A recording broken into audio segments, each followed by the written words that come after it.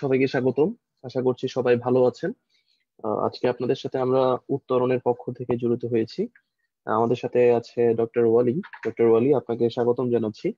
আপনি যদি যারা আজকে প্রোগ্রামে আপনাদের সাথে যুক্ত হয়েছে, তাদের উদ্দেশ্যে কিছু বলতেন। থ্যাংক ইউ সৌরভ ভাইয়া। আসসালামু আলাইকুম এভরিওয়ান আশা করি সবাই ভালো আছেন, সুস্থ আছেন। তো আজকে দেখতে দেখতে আমরা আমাদের, কি বলা যায়, আমাদের এই উত্তরণের যে কার্যক্রম চলছিল সেটার অনেকটা, কি বলা যায়, শেষ পর্যায়ে চলে আসলাম। আমাদের পরীক্ষার কিন্তু আর বেশি দিন সময় নেই। আমাদের হচ্ছে অলমোস্ট বিশ দিন বা বিশ দিনের চেয়ে একটু কম ধরতে পারি আমরা, এরকম সময় আছে। তো এরকম সময় আসলে আমাদের ওরিয়েন্টেড হওয়ার বাড়তি আসলে কিছু নাই। আমাদের মডেল টেস্ট দিতে হবে, এটা আমরা সবাই মোটামুটি জানি। কারণ এই মডেল টেস্ট না দিলে আমাদের আসলে শেষ সময়ের প্রস্তুতিটা, প্রস্তুতিতে কোথায় ঘাটতি আছে, সেটা আমরা ঠিকঠাক ধরতে পারব না। আর আমাদের এই সময়টাতে, বাকি সব কিছু থেকে ফোকাস দূর করে কীভাবে আমরা কনসেন্ট্রেট করতে পারি আমাদের নিজেদের এফোর্টের ম্যাক্সিমামটা কীভাবে দিয়ে আউটপুটটা আমাদের বেটার করতে পারি সেটা নিয়ে কিছু কথা বলার জন্য আজকে আমরা এখানে আসছি। তো আশা করি সবাই আমাকে ঠিকঠাক শুনতে পাচ্ছেন। আমাদের এই বিয়াল্লিশতম BCS special BCS final model টেস্টের ওরিয়েন্টেশন সেমিনারে সবাইকে আরও একবার স্বাগতম। তো সৌরভ ভাই আপনি যদি কন্টিনিউ করেন আমি অবশ্যই অবশ্যই। থ্যাংক ইউ ডক্টর ওয়ালিকে আমরা সবাইকে আবারও স্বাগতম জানাচ্ছি। প্রথমেই প্রোগ্রামের নিয়ে আমরা বেশ কিছু আলোচনা করব। কিন্তু আসলে একটু ফিডব্যাকটা খুব গুরুত্বপূর্ণ। যেহেতু আপনারা দীর্ঘদিন ধরে আমাদের সাথে আছেন, আমরা একটু আপনাদের কাছ থেকে একটু ফিডব্যাকটা জেনে নিতে চাচ্ছি যে আমাদের পরীক্ষা দিয়েছেন, আপনারা ক্লাস করেছেন এবং ক্লাসের পরে পিডিএফটা পেয়েছেন, এই ব্যাপারটা আপনাদের কেমন লেগেছে? এই ফিডব্যাকটা নিয়ে আমরা আমাদের পরবর্তী কার্যক্রমে চলে যাব। আমি একটু রিকোয়েস্ট করব, যারা উপস্থিত আছেন, সবাই এই পোল কোয়েশ্চেনটাতে আনসার দিবেন ফিডব্যাকটাতে অংশগ্রহণ করবেন।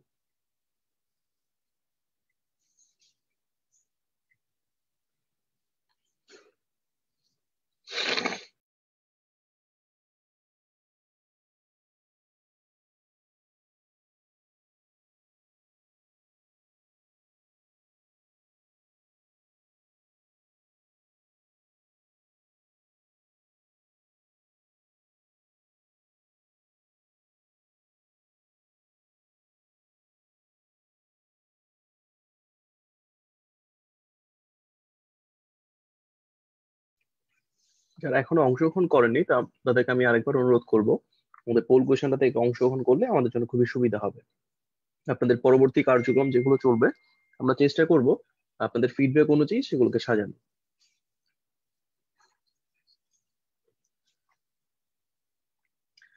ওকে, ধন্যবাদ সবাইকে। আপনাদের যে রেজাল্ট আমরা পেলাম, এতে আমরা আসলে যথেষ্ট সন্তুষ্ট এবং আমরা যথেষ্ট আনন্দিত। আমাদের হান্ড্রেড পার্সেন্টই বলতেছেন চমৎকার এবং ভালো। তো আমরা আসলে আমাদের প্রোগ্রামটা তাহলে এবার শুরু করে দিই। ধন্যবাদ সবাইকে অংশগ্রহণ করা উচিত। তো শুরুতেই বিয়াল্লিশতম স্পেশাল বিসিএস পরীক্ষার পূর্ব প্রস্তুতি এবং শেষ মুহূর্তের বিষয়ভিত্তিক প্রস্তুতিটা কেমন হবে এই বিষয়ে আমরা আলোচনা করব। তার আগে আপনাদেরকে একটু আমি মনে করিয়ে দিই, আগামী ছাব্বিশে ফেব্রুয়ারি আপনারা বসতে যাচ্ছেন দেশে আয়োজিত সবচেয়ে বড় কম্পিটিটিভ পরীক্ষা, সেটা হলো বাংলাদেশ সিভিল সার্ভিসের পরীক্ষা।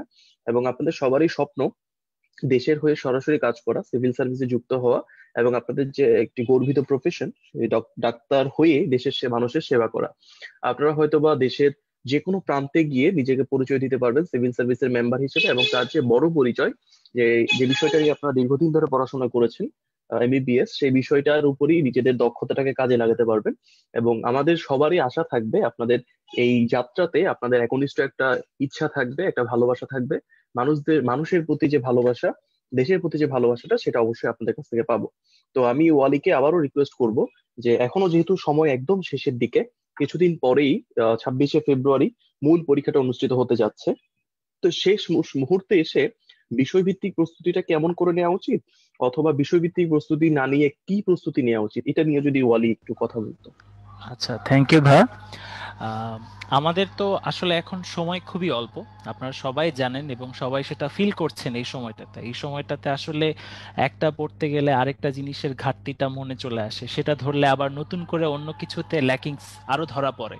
তো এরকম পরিস্থিতিতে আমাকে যেই কাজটা করতে হবে বা আমি হলে যে কাজটা করতাম, সেটা হচ্ছে একটা রুটিন বানাতাম।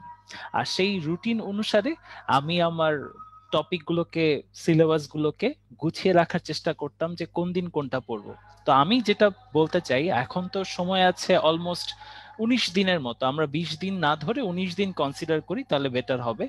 তো এই উনিশ দিনের সময়টাতে পরীক্ষার আগের একদিন, দুই দিন আমাদের স্পেয়ার রেখে দিতে হবে। সো অ্যাপারেন্টলি আমরা সতেরো দিনের মতো সময় পাচ্ছি। আমাদের পরীক্ষা হবে দুইশো মার্কের। দুইশো মার্কের মাঝে একশো মার্ক আমাদের জানা পরিধি থেকে আসবে। অর্থাৎ যেটা আমরা মেডিকেল সায়েন্সের প্রেক্ষাপটে বলছি আর কি। এই একশো মার্ক আমরা অনেক কিছুই আমরা রিসেন্ট পড়াশোনা করেছি। আবার কিছু জিনিস আছে যেগুলো আমরা হয়তো চার, পাঁচ বছর বা আরও আগে পড়েছি বাট এই কয়েকদিনে আমরা কাভার করে ফেলার চেষ্টা করেছি। সো এই একশো মার্ক মেডিকেল সায়েন্সে আমরা যাতে একটু কনফিডেন্ট থাকি, সে ব্যবস্থাটা করতে হবে। তা আমি বলতে চাই, এই সতেরো দিনের মাঝে প্রথম সাত দিন আপনারা মেডিকেল সায়েন্সে এতদিন ধরে যে প্রবলেমগুলো ফেস করে এসেছেন, যা আমরা পড়িয়েছি, যা আপনারা বিভিন্নভাবে সাজেশন পেয়েছেন আমাদের কাছ থেকে, সেই টপিকগুলোকে আবার একটু দেখে নেওয়ার চেষ্টা করবেন সিরিয়ালি, সিস্টেম ধরে ধরে। আমার মতে, আমরা যদি মেডিসিনটা ভালো মতো ধরে পড়ে ধরে পড়ার চেষ্টা করি, তাহলে সেই মেডিসিনটা কিন্তু একই সাথে ফিজিওলজি এবং প্যাথোলজির সেকশনটাও কভার করে ফেলবে।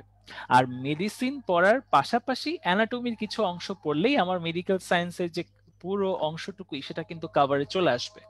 তাই আমি বলব যে প্রথম সাত দিন আমরা চেষ্টা করব কি মেডিকেল সায়েন্সের সেক্টরটাকে একদম ভালো মতো ঝালাই করে নেয়ার। বিশেষ করে যে ইনফোগুলো দেখা যায় কি পরীক্ষার আগে দুই একদিন দেখতে পারলে আমাদের মনে রাখার প্রবাবিলিটি বেশি। আমরা চেষ্টা করব এই সাত দিনে সেই টপিকগুলো বা সেই ইনফোগুলোকে একসাথে করে রাখতে বা মার্ক করে রাখতে যে এগুলো আমাকে পরীক্ষার আগের মুহূর্তগুলোতে দেখার প্রয়োজন হবে বা পরীক্ষার আগের দিনগুলোতে আমার এগুলো দেখার প্রয়োজন হবে, সেগুলো আমরা একটু সর্ট আউট করে রাখার চেষ্টা করব।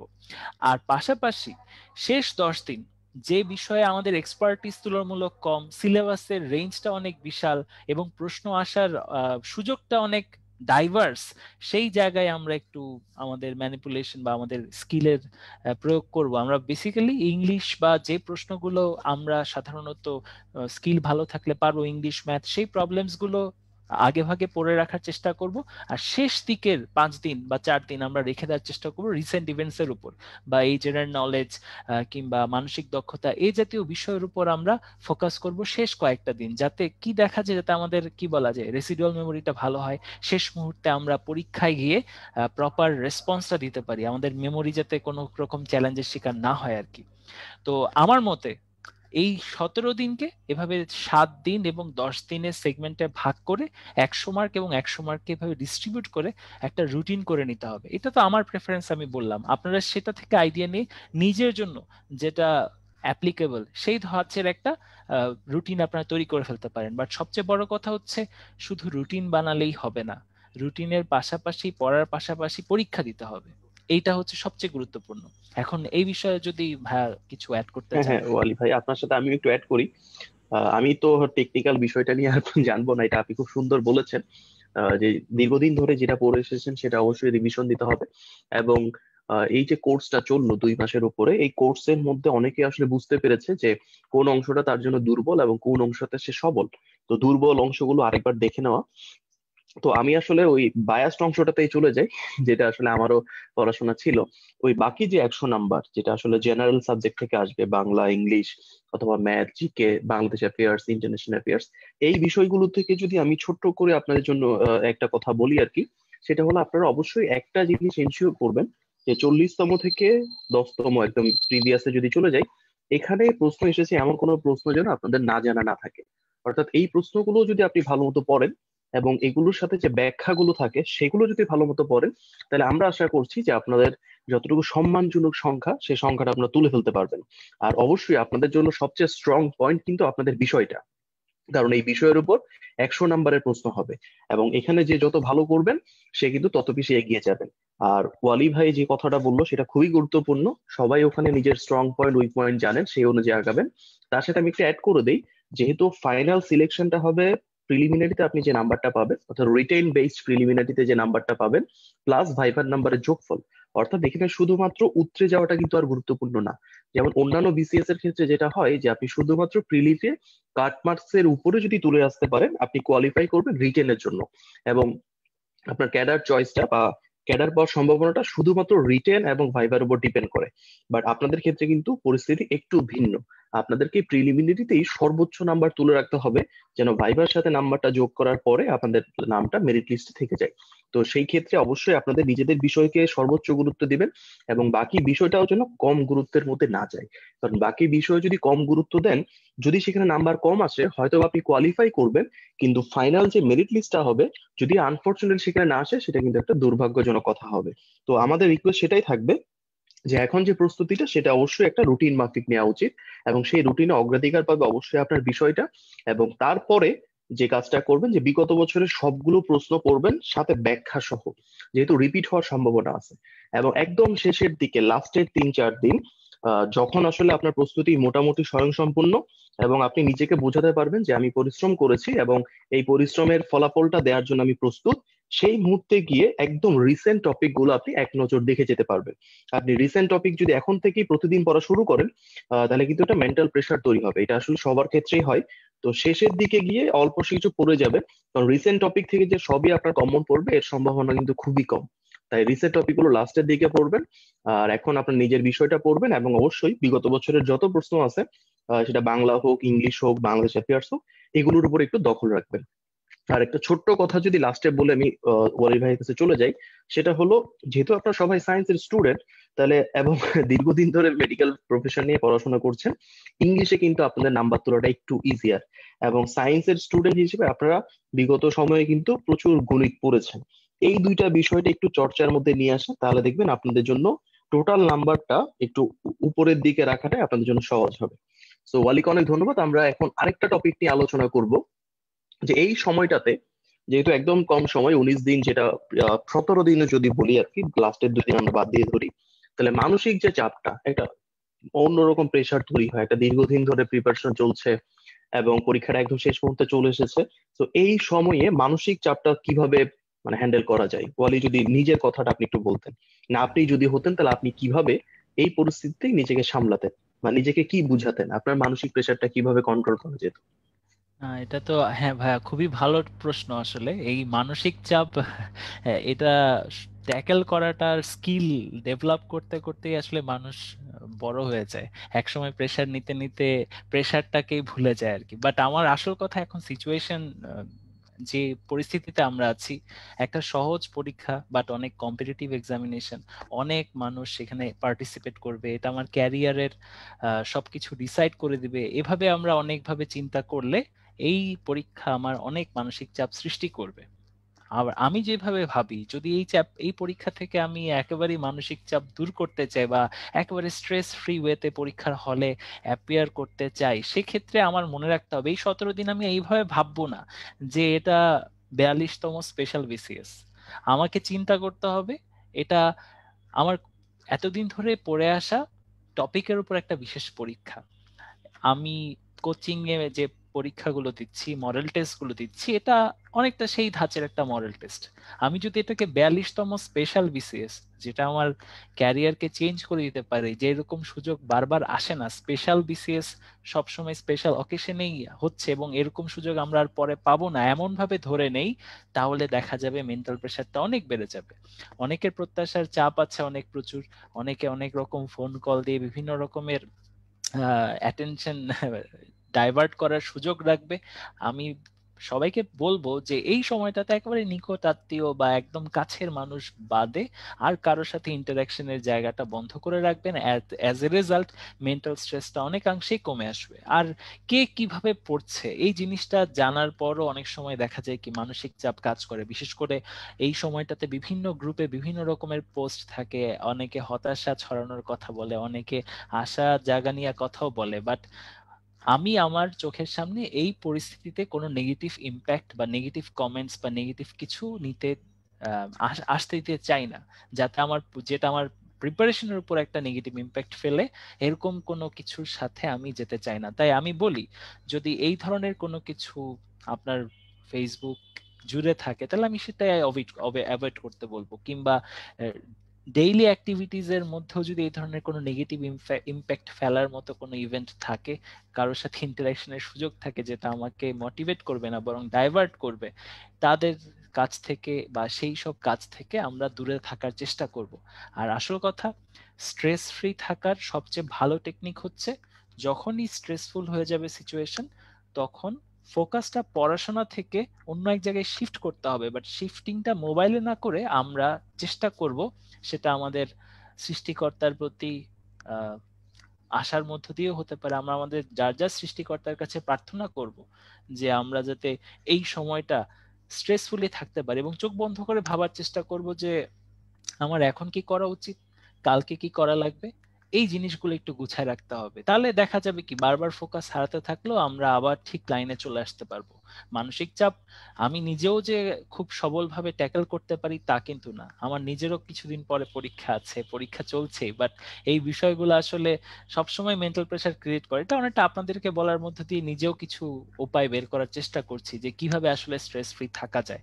আপনারাও হয়তো অনেক ভালো টেকনিক জানেন কীভাবে আপনারা স্ট্রেস ফ্রি থাকতে পারবেন। প্রত্যেকটা মানুষের আসলে, প্রত্যেকটা মানুষের মনস্তত্ত্বই ভিন্ন। সো এখানে আসলে জেনারেলাইজ কিছু বলে আসলে সবার ক্ষেত্রেই সমান উপকার নাও আসতে পারে, তাই আমি বলব সৃষ্টিকর্তার কাছে সাহায্য চান। উনার অ্যাপ্রোচ সবার জন্য ইউনিক এবং সবাই ফোকাস ঠিক রাখতে পারবেন যদি তার উপর ভরসা রাখেন। যা হওয়ার তা হবেই। এটা ধরে রেখে নিজের যতটুকু সর্বোচ্চ করার সেটা করে যান। অন্তত নিজের কাছে যখন জবাবদিহিতায় স্পষ্ট থাকবেন কোন রূপ ডাউট থাকবে না নিজের প্রতি, তখন আপনার কোনো মানসিক চাপও কাজ করবে না। তো ভাই আপনি যদি কিছু বলতে চান। হ্যাঁ হ্যাঁ ওয়ালি ভাই আমি আপনার সাথে লাস্টে একটু অ্যাড করে দিই। আপনি সেটা লাস্টে যেটা বলেছেন যে সৃষ্টিকর্তার উপর বিশ্বাস আমি ওরকমই একটা কাজ করতাম আমার ক্ষেত্রেও যে আমি ভাবতাম যে হ্যাঁ প্রেশার যেহেতু আসবে সেটা আমি মেনে নিই। ভয় লাগবে সেটাও আমি মেনে নিই যে আমি ভয় আমি এখন ভয় পাচ্ছি আমি ভীত এবং আমি এখন মানসিক প্রেশার আছে আমি এটাও আমি মেনে নিই। তারপর আমি যেটা বললাম যে আমার যা করার আমি তো তা করে ফেলছি। মানে পরিশ্রম আমার যা করার পড়াশোনা আমার যা করার তা আমি করে ফেলেছি। এখন ফলাফল তো আর আমার হাতে নেই। সেটা যার হাতে, এখন তার উপর আমি ছেড়ে দিই। এই যে নির্ভরশীলতার ব্যাপারটা, এটা আমি আপনার সাথে একেবারেই একমত যে শেষ পর্যন্ত প্রেশারটাকে একসেপ্ট করে সৃষ্টিকর্তার উপর ছেড়ে দেওয়া, ও যা করার উনি করবেন। আমার যে কাজটা, পরিশ্রম করা, পড়াশোনা করা রেগুলার থাকা এবং আপ টু ডেট থাকা, আমি এটা করেছি, বাকিটা ওনার হাতে চলে যায়। ভেরি ভেরি লাইকলি আর কি। আর আরেকটা টপিক নিয়ে আমরা আলোচনা করি, ব্যস্ততা আর পড়াশোনার সমন্বয় কেমন হতে হবে? এই বিষয়টা অন্যান্য মানে অন্য কোনো বিসিএস হলে যেভাবে আমরা আলোচনা করতে পারতাম, এই বিসিএস এর ক্ষেত্রে ফর্টি টু এর জন্য অবশ্যই এটা একেবারেই ডিফারেন্ট কারণ অন্যান্য বিসিএস এর ক্ষেত্রে অধিকাংশই দেখা যায় শুধু ডেডিকেটেডলি এই বিসিএস নিয়েই পড়ে থাকে। বাট আপনাদের অনেকেই আছেন যারা এখন ডিউটি করছেন। ইভেন অনেকেই এটা লাইভ দেখতে পারতেছেন না, কারণ আপনারা এখন ডিউটিতে আছেন এবং ডেফিনেটলি আপনারা যে কাজটা করছেন সেটা যথেষ্ট শ্রদ্ধার। তো এর মধ্যেও ব্যস্ততার মাঝখানে সময় বের করাটা অবশ্যই অবশ্যই গুরুত্বপূর্ণ। এবং আপনাদের ব্যস্ততার যেহেতু আমি সরাসরি বুঝব না, আপনাদের সেক্টরের আমি না বাট আমার মনে হয় যেহেতু শেষ মুহূর্তের প্রস্তুতি এখন যে কাজটা সবচেয়ে বেশি গুরুত্বপূর্ণ সেটা হলো আপনার ধ্যানে, মগ্নে এই বিষয়টাকে রাখা। অর্থাৎ আপনি হয়তোবা কালকে এক সময় পেয়ে একটা পড়া পড়েছেন, এখন আপনি ডিউটিতে আছেন, রোস্টার ডিউটিতে আছেন, এখন হয়তো সেটা পড়তে পারছেন না বাট আপনি যদি একটু সময় পান সেটা নিয়ে চিন্তা করতে পারেন। সো চিন্তা করলেও কিন্তু আগে পড়াটা একটু রিভিশন দেওয়া হয়ে যায়। বা আপনি নিজে থেকে একটা প্যাটার্ন তৈরি করতে পারেন যে, আমি এই টপিকগুলো পড়েছি, এখান থেকে এই প্রশ্নগুলো আসতে পারে। তাহলে সেটা কিন্তু ধ্যানে মগ্নে থাকা হলো। আর রোস্টারের মাঝখানে আমি জানি না আপনারা সময় আসলে বের করতে পারবেন কিনা বাট ইন কেস যদি কখনো ভাবে সম্ভব হয়, এখন মোবাইলে স্মার্টফোনে প্রচুর অ্যাপ পাওয়া যায়। যেগুলোতে বিগত বছরের প্রশ্ন বা আপ টু ডেট ইনফরমেশন ওয়েবসাইটে আপনি গিয়ে ইনফরমেশন জানতে জানতে পারবেন। তো আমার মনে হয় যদি ওরকম সময় থাকে যে ব্যস্ততার মধ্যে ডিউটিতে যাচ্ছেন বা ডিউটি থেকে চলে আসছেন, যদি সময় হয়ে থাকে, তাহলে সেই সময়টা আপনি অ্যাপে একটা পরীক্ষা দিয়ে দিতে পারেন অথবা একটা ওয়েবসাইট থেকে ইনফরমেশন জেনে নিতে পারেন। এই বিষয়ে আমি আসলে পুরোটাই ওয়ালির উপর ছেড়ে দিতে চাচ্ছি, ওয়ালি ভাই। আপনি মনে হয় খুব ভালো বলতে পারবেন, কারণ আপনি এটার সাথে আপ টু ডেট এইভাবেই আপনি পরীক্ষাটা দিয়েছেন। তো এখন যারা দিচ্ছে, তাদের যদি একটু সুন্দর একটা কথা বলতেন আর কি, যে কীভাবে এই সময়ে ব্যস্ততার সাথে পড়াশোনাটাকে সমন্বয় করবেন।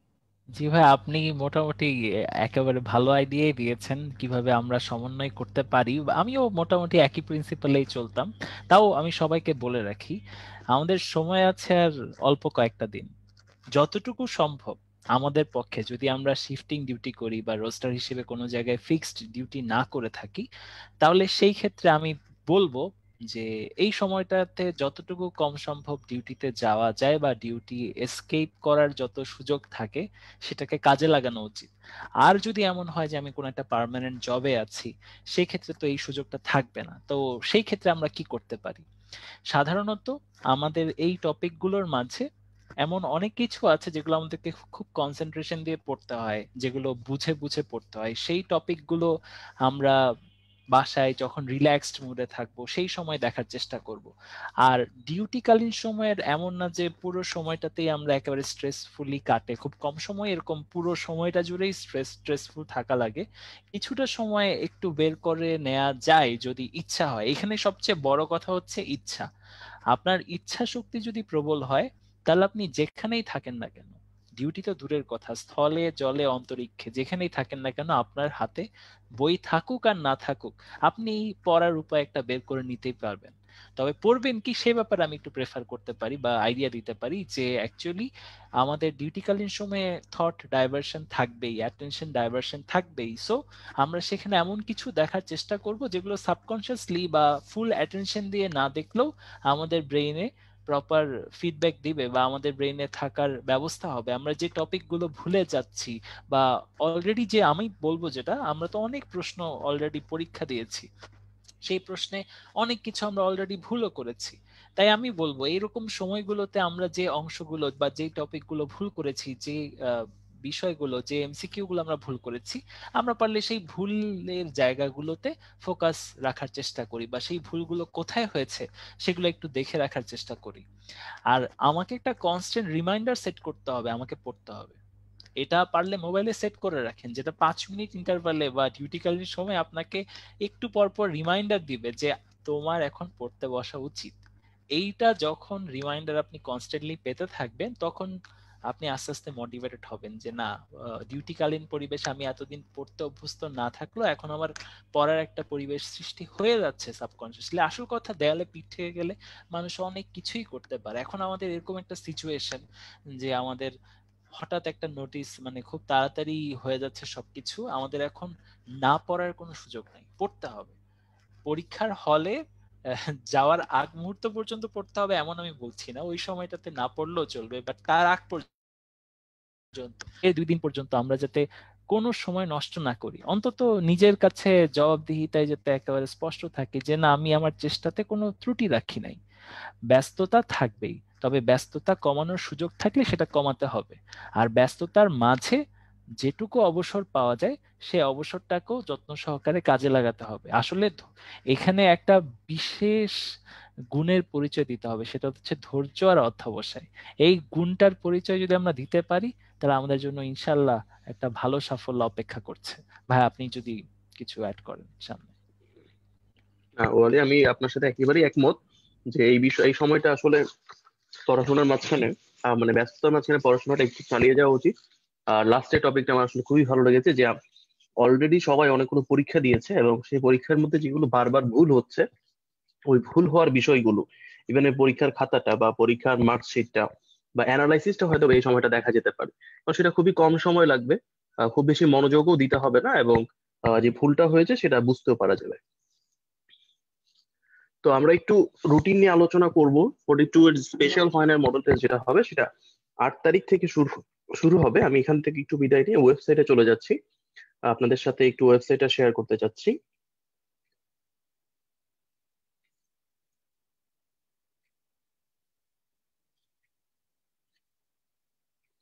ওয়ালি আপনি যদি আমাকে একটু কনফার্ম করতেন যে আমার স্ক্রিনটা শেয়ার হয়েছে কিনা সঠিক হ্যাঁ ভাই স্ক্রিন দেখা যাচ্ছে। ওকে থ্যাংক ইউ সো উত্তরণ একাডেমিতে আওয়ার কোর্সেসে যদি আপনারা ক্লিক করেন তখন আসলে সবগুলো কোর্সই দেখানো হবে। তো আমরা যেটা দেখতে চাচ্ছি সেটা হলো ফর্টি টু এর ক্র্যাশ কোর্স এবং ক্র্যাশ কোর্সের পরে মডেল টেস্ট যেটা। সো আমরা ফর্টি টু এর ফাইনাল মডেল টেস্টটাকে ক্লিক করি, এখানেই চলে যাই, এখানেও সবকিছু থাকবে। তো ইতিমধ্যে আপনারা জানেন যে আপনাদেরকে একটি বই দেওয়া হবে, যেখানে চার হাজার প্রশ্ন থাকবে। এই চার হাজারের মধ্যে দুই হাজার থাকবে জেনারেল বিষয়ের উপরে এবং বাকি দুই হাজার থাকবে মেডিকেল স্পেশালিস্ট যে চারটা সাবজেক্ট সেই চারটা সাবজেক্টের উপরে। এবং দশ সেট ফাইনাল মডেল টেস্ট হবে। মূলত পাঁচটা মডেল টেস্ট যেটার প্রত্যেকটারই দুই সেট করে এবং দুইটা সেটই আপনারা পরীক্ষা দিতে পারবেন। আমি এটা আরেকবার ক্লিয়ার করি। দশ সেট ফাইনাল মডেল টেস্ট বলতে আসলে বোঝানো হচ্ছে। পাঁচটা পরীক্ষা হবে, প্রত্যেকটা পরীক্ষার দুটো করে সেট সো এখানে সুবিধা হবে, একটা হলো লাইভে আপনার পরীক্ষা দিতে পারবেন, আর একটা হলো প্র্যাকটিস হিসেবে দিতে পারবেন। সো দুইটাই আসলে পূর্ণাঙ্গ পরীক্ষা মানে প্রতি পরীক্ষায় আপনি চারশো কোশ্চেন আনসার করতে পারবেন। সো দশটা পরীক্ষা মিলে আসলে ফোর থাউজেন্ড কোশ্চেন খুব ভালো একটা পরিমাণ। এবং সাথে মডেল টেস্ট বুকটা যদি বাসায় প্র্যাকটিস করতে পারেন, তাহলে এখানে প্রায় আপনারা বলতে পারি যে দুই দুই হাজার এবং চার হাজার মানে ছয় হাজার প্রশ্ন আপনাদের অ্যানালাইসিস হয়ে যাবে। এবং দাগানোর প্র্যাকটিসটাও হয়ে যাবে। তো আমরা একটু রুটিনটা সম্পর্কে আপনাদেরকে বলে দেই।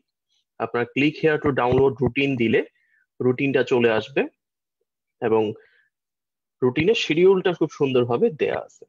তা আপনাদের পরীক্ষা শুরু হচ্ছে আট তারিখ থেকে আট, বারো, ষোলো, উনিশ এবং বাইশ। আর আপনারা ফাইনাল যে পরীক্ষাটা দিবেন সেটা হলো ছাব্বিশ তারিখ, শুক্রবারে। আপনাদের সময়টা নিয়ে যদি আমি একটু বলি, এটা এক ঘণ্টা পঁয়তাল্লিশ মিনিট দেওয়া হয়েছে। যদিও মূল পরীক্ষায় আপনারা সময় পাবেন দু ঘণ্টা। কিন্তু বাস্তবতা হলো দু ঘণ্টা সময় বলা থাকলেও আপনি আসলে দু ঘণ্টা সময় পাবেন না। কারণ শুরুর দিকে ওই এমসিকিউ শিটটা দিতে কোশ্চেন পেপার দিতে বেশ কিছুটা সময় চলে যায় এবং আপনি বাসায় যত ঠান্ডা মেজাজে পরীক্ষা দিতে পারতেছেন, আপনার কুল একটা মাইন্ড আছে, আপনার রুমে আর কেউ নাই মূল পরীক্ষায় হয়তো এরকম হবে না, আপনার পাশে অসংখ্য স্টুডেন্ট থাকবে এবং হয়তো বা আপনার ওয়েদারটাও আপনার সাথে যাবে না বা পরিস্থিতি হয়তো এত সুন্দর হবে না। সবকিছু বিবেচনা করে আমরা ভেবেছি যে পরীক্ষার হলের একটা এনভায়রনমেন্ট বা প্রেশারটা যদি তৈরি করতে চাই, তাহলে হয়তো বা ফিফটিন মিনিটস এর মতো মাইনাস করে দেওয়া উচিত। অর্থাৎ পরীক্ষার হলে আপনি যে প্যানিকটা বারবার বোধ করতে পারেন, সেটা এখন এই পরীক্ষা থেকে, এই যে পাঁচটা ফাইনাল মডেল টেস্ট হবে, আপনি ওই সেম প্যানিক এখানেই করেন। সো একই প্যানিক বারবার করতে গিয়ে দেখা যাবে সেটা আর প্যানিকই থাকবে না। সো সেটা যদি হয়, অবশ্যই আমরা আশা করব সেটা খুব ভালো একটা কাজ হবে। সো ফর্টি টু মডেল টেস্টের রুটিনটা আমি দেখিয়ে দিয়েছি। আমি একটু যদি দেখিয়ে দিই কীভাবে জয়েন করতে হবে। আপনারা জয়েন নাও অপশনে ক্লিক করলে একটা স্টুডেন্ট লগ ইন পেজ আপনাদের কাছে চলে আসবে এবং আপনাদের নিজেদের রোল নাম্বার দিয়ে আমি আমার রোল নাম্বারটা এন্ট্রি দিচ্ছি এখানে। সো রোল নাম্বার এবং পাসওয়ার্ড যদি দিয়ে দেন, তাহলে আপনারা মূল পেজে চলে যাবেন। তো এখানে লেকচার অপশনটা আর থাকবে না, যেহেতু ফাইনাল মডেল টেস্ট এগুলো সবগুলো চলে যাবে এক্সামে তো লেকচারের পাশের যে আইকনটা এক্সামে ক্লিক করবেন। তো সেই ক্ষেত্রে আপকামিং এক্সাম হিসেবে আপনাকে দেখাবে। মানে আপনি যদি আজকে ঢুকে দেখেন, তাহলে আপনাকে হয়তো বা আট তারিখের পরীক্ষাটা আপকামিং এক্সাম হিসেবে দেখাবে। আমি একটু বলে দিই, আমি তো আসলে সরাসরি কানেক্টেড এর ফলে আমার অনেকগুলো কোর্স আছে। এখানে আপনারা সিলেক্ট করতে পারবেন forty two BCS final model test তো আপনি যেটাই সিলেক্ট করবেন, সেটারই আপকামিং এক্সামটা আসলে দেখাবে। আর অল কোর্স যদি থাকে অল কোর্স সিলেক্ট করলেও আপনারা আপকামিং এক্সামটা দেখতে পারবেন। আর আরেকটা বিষয় নিয়ে একটু আরও মনে করাই দেই নর্মালি এখানে আপকামিং এক্সামের অপশনটা থাকে। কেউ যদি পাস্ট এক্সাম মানে যে পরীক্ষা ইতিমধ্যে হয়ে গিয়েছে, আপনি দিয়ে দিয়েছেন, সেটা দেখতে চান, তাহলে কিন্তু আপকামিং এক্সামের বারটা চেঞ্জ করে পাস্ট এক্সামে চলে যেতে হবে। আর এখানে লাইভ এক্সাম এবং প্র্যাকটিস এক্সাম দুই ধরনের এক্সাম আছে। সো লাইভ এক্সাম হলো যেটা সময় মতো দিতে হবে, আর প্র্যাকটিস এক্সাম হলো যেটা আপনি দিনভর দিতে পারবেন। মানে যে কোনো সময় এই প্র্যাকটিস এক্সামে অংশগ্রহণ করতে পারবেন এবং বারবার দেয়া যায়। এটা একটা সুবিধা হলো বারবার পরীক্ষা দিতে পারবেন। প্রথমবার পরীক্ষা দিয়ে হয়তো আপনার মনে হলো যে পরীক্ষাটা মনে মতো দিতে পারিনি বা আমার আসলে সময়টা ঠিক ছিল না বা পরিস্থিতি ঠিক ছিল না, আমি আরেকবার পরীক্ষাটা দিয়ে দেখি, এবার ঠান্ডা মাথায় কত পেতে পারি। তো সেই ক্ষেত্রে রিটেক এক্সামটা হলো খুবই খুবই কাজের। সো রিটেক কীভাবে দিতে হয় এটা মোটামুটি অনেকেই জানেন। আমি একটু তাও দেখিয়ে দিচ্ছি যেহেতু ওরিয়েন্টেশনের মধ্যে এটা যাচ্ছে। সো আপনার ভার্সন ক্লিক করে যদি এক্সামে চলে আসেন আপনাদের টাইমটা কিন্তু স্টপ ওয়াচের মতো শুরু হয়ে যাবে। এবং একটা ফিক্সড টাইম এখানে বলা থাকবে, যেটা মডেল টেস্টের জন্য হলো এক ঘণ্টা ফর্টি পঁয়তাল্লিশ মিনিট এবং প্রত্যেকটা প্রশ্ন আপনারা ক্লিক করার পরে লাস্টে গিয়ে হয়তো আপনারা সাবমিট করতে পারবেন। সো সাবমিট করার সাথে সাথে কিন্তু অ্যানালাইসিস রিপোর্ট যেটা, সেটাও আপনারা পেয়ে যাবেন। তো আমি যদি লাস্টে এসে সাবমিট করে দিই, তাহলে অ্যানালাইসিস রিপোর্ট চলে আসবে এবং অ্যানালাইসিস রিপোর্টটার সাথে সাথে দেওয়ার ফলাফলটা হলো, আপনি উত্তর তো জানতে পারছেন এবং আপনারটা সঠিক হয়েছে কি, সঠিক হয়নি সেটাও জানতে পারবেন। সাথে এক্সট্রা কিছু প্রশ্নের উত্তরও জানতে পারবেন। যেমন, এখানে হয়তো বা উত্তর ছিল গিয়াসুদ্দিন বলবন। সাথে তিনি কোন দরবারের প্রভাব ছিলেন, তার বিরোধী কি ছিলেন, তার নীতি কেমন ছিল, এগুলো কিন্তু জানতে পারবেন। সাথে ম্যাথ এবং ইংলিশের একটা সুন্দর ব্যাখ্যা দেওয়া থাকবে এবং ব্যাখ্যাগুলো পড়লে আপনার কোয়েশ্চেনটা ক্লিয়ার হয়ে যাবে। সাথে সাথে উত্তরটা কেন ভুল হয়েছে এবং আপনি কোথায় ভুল করেছেন, চিন্তাটা কোথায় ভুল ছিল, এগুলো কিন্তু খুব ভালো মতো বুঝতে পারবেন। তো আমাদের এই ওয়েবসাইটটা আসলে ডিজাইন করার সিস্টেমটা এমন ছিল যেন খুব সহজে যে কোনো জায়গা থেকে আপনারা এটা ব্যবহার করতে পারেন। তো এটা আপনারা ইতিমধ্যে একাধিকবার ব্যবহার করেছেন এবং আপনাদের কাছ থেকে যে ফিডব্যাকটা আমরা পেয়েছি, তাতে আমরা বুঝতে পেরেছি যে ওয়েবসাইট নিয়ে আপনাদের আশা করি কোনো সমস্যা নেই। তো আমরা একটু এগিয়ে যাই আর একটু আলোচনা করি যে মডেল টেস্ট যখন শুরু হবে, সেটার অনলাইন এক্সাম থাকবে।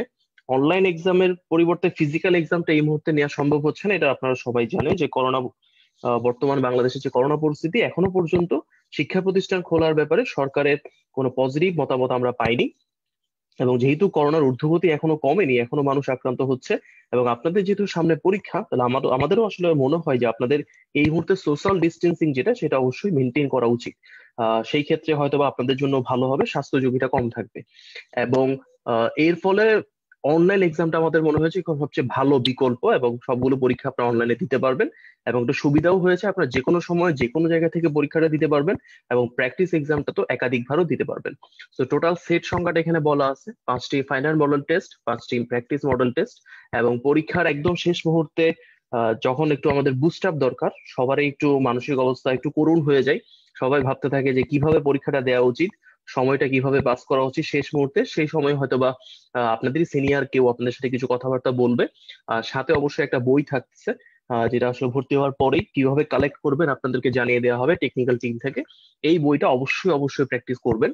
কারণ আপনি যত বেশি প্রশ্ন এখন দাগাবেন ভুলের সংখ্যাটা পরীক্ষার হলে তত কমে যাবে।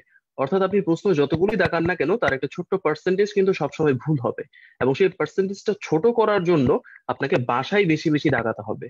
আপনি প্রথম পরীক্ষাটা যদি ছাব্বিশ তারিখে গিয়ে দেন, তাহলে কিন্তু আপনি বুঝতে পারবেন না যে আপনি আসলে পরীক্ষাটা ভালো দিয়েছেন নাকি খারাপ দিয়েছেন। তো এই প্র্যাকটিসটা বাসা থেকেই করা উচিত এবং অবশ্যই অনলাইনের মডেল টেস্টগুলোর সাথে করতে পারবেন। আর সাথে আমরা যদি কিছু অ্যাড করতে চাই, সেটা হলো আপনার অটো এস এম এস এর মাধ্যমে রেজাল্ট পাবেন। প্র্যাকটিস এক্সাম তো আছেই। সবচেয়ে ইম্পর্টেন্ট যেটা বা সবচেয়ে ভালো যেটা লাগে, সেটা হলো অ্যানালাইসিস রিপোর্ট না আপনি একটা পরীক্ষা দিয়েছেন, সাথে সাথেই কোনটা ভুল, কোনটা সঠিক, সেটা জেনে যাবেন। আর সর্বশেষে আমি ওয়ালি ভাইকে একটু অনুরোধ করব বিসিএস যেহেতু একটা বিশাল বড় পরীক্ষা এবং সবচেয়ে কম্পিটিটিভ পরীক্ষা যদি আমি বলতে পারি, এই পরীক্ষাতে যে গুণগুলো দরকার এগুলো আমরা এখানে একটা লিস্ট আকারে দিয়েছি যে সর্বপ্রথমে সৃষ্টিকর্তার উপর ভরসা রাখা, গুছিয়ে প্রস্তুতি নেওয়া, আত্মবিশ্বাসে লেগে থাকা। ওয়ালি ভাই, আপনি যদি এখানে একটু আলোকপাত করতেন। আমাদের আসলে আজকের আলোচনার পুরো থিমটাই ছিল আপনাদেরকে একটু মোটিভেট করা, যাতে আপনারা এই সামনের স্ট্রেসফুল সময়টাতে একটু স্ট্রেস ফ্রি থেকে এই সময়টা অতিবাহিত করতে পারেন এবং ফাইনালি একটা ভালো পরীক্ষা দিয়ে কি বলা যায়। আপনার চান্স পাওয়ার সম্ভাবনাটাকে বাড়াতে পারেন, সেই জন্য একটু আপনাদেরকে গাইডলাইন দেয়া।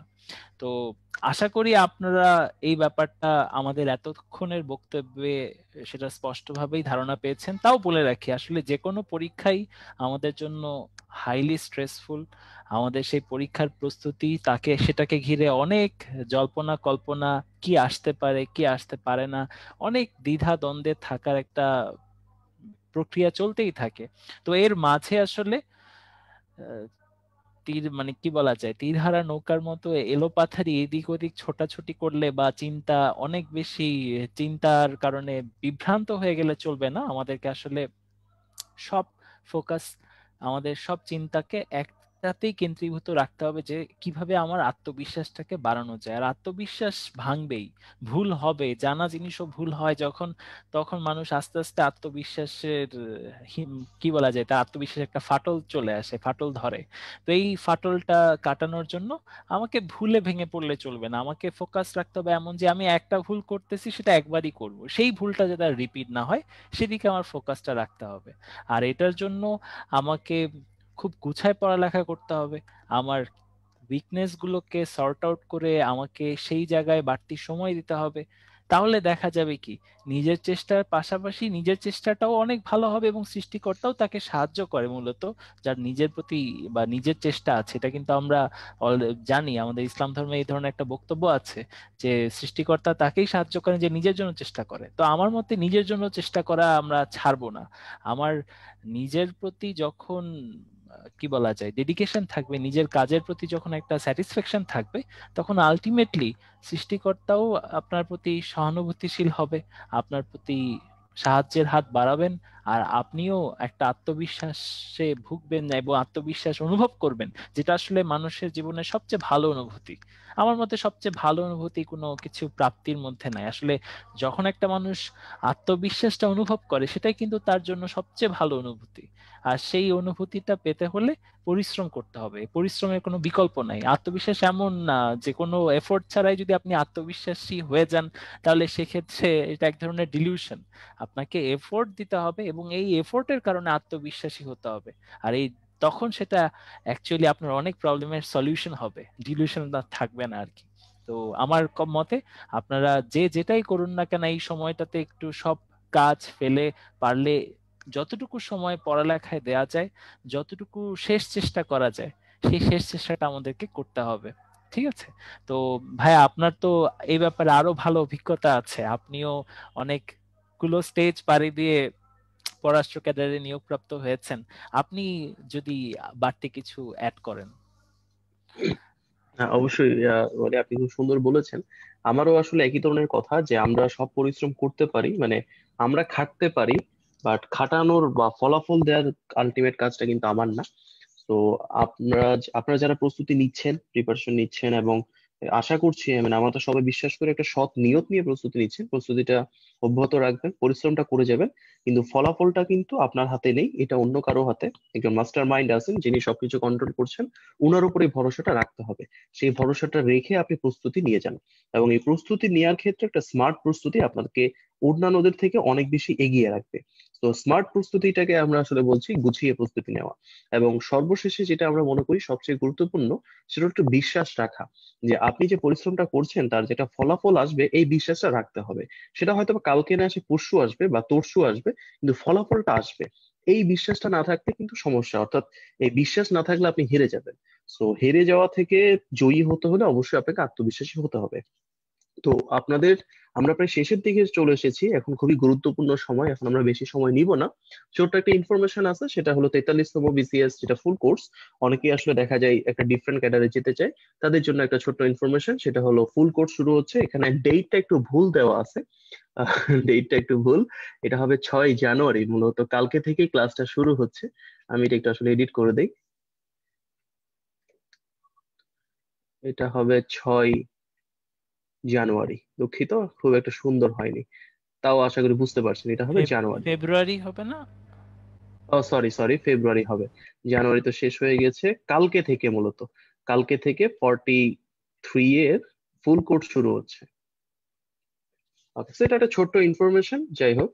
তো আমরা একটু আগাই। এখন কিছু প্রশ্ন উত্তর পর্বের জন্য আমরা আসলে প্রস্তুত। আপনাদের জন্য যদি কারও কোনো ব্যক্তিগত প্রশ্ন থাকে বিষয় ভিত্তিক বা সাবজেক্ট ভিত্তিক বা পরীক্ষা ভিত্তিক আপনারা হ্যান্ড রেজ করে প্রশ্ন করতে পারেন অথবা চ্যাট বক্সে বা কিউ এন তেও প্রশ্নটা লিখতে পারেন।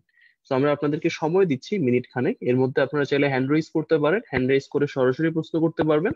অথবা আপনারা চাইলে কিউ এন্ড এ অথবা চ্যাট বক্সে লিখেও প্রশ্নটা করতে পারবেন।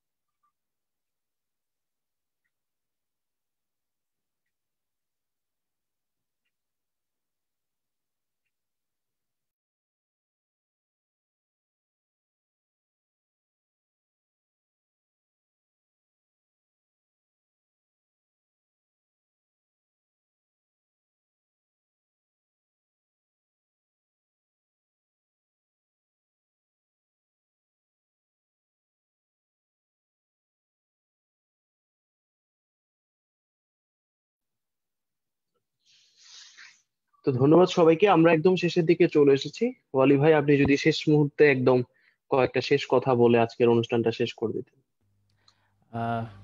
ওকে ভাইয়া, তাহলে আসল কথা আমরা বলেই দিয়েছি, আপনাদের আর বাড়তি সময় নষ্ট করতে চাই না।